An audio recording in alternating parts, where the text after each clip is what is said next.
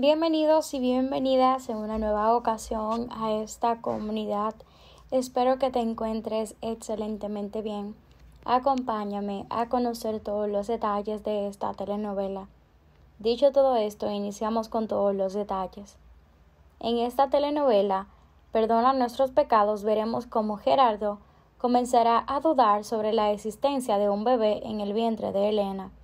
Él no cree que Elena esté embarazada si Elena está embarazada, ¿por qué rayos a ella se le ocurrió atentar contra la vida del bebé que llevaba dentro? Solo a ella se le ocurre algo tan tonto como esto. Siempre existirá el amor entre Gerardo y Toñita, y de esto no se puede tener ni una sola duda. Guillermina va detrás de Armando.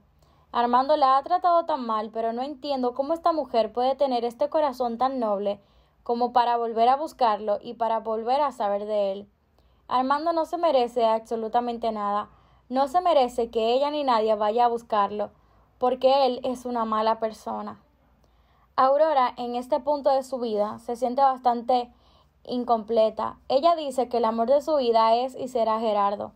Ella no tiene ni siquiera la idea, ni la mínima idea, de por qué razón se metió con Carlos, si la persona que ella verdaderamente ama es Horacio, y Horacio se está debatiendo entre la vida y la muerte. Esto la pone a ella bastante triste. También en esta telenovela veremos cómo Gerardo besará a Toñita. Ellos se dejarán llevar por el gran amor que se sienten.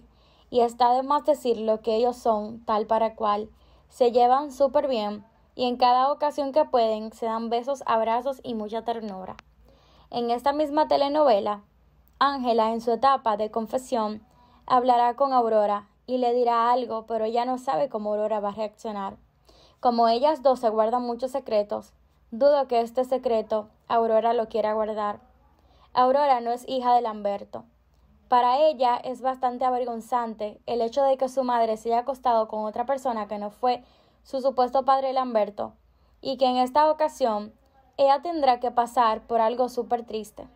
El darse cuenta que ella no conoce a su padre la pone bastante mal, comenzará a discutir con su madre y le pregunta por qué razón ella ha sido tan mala y le ha ocultado tantas cosas a Lamberto, y acá es donde ella dice que Lamberto no se merece eso.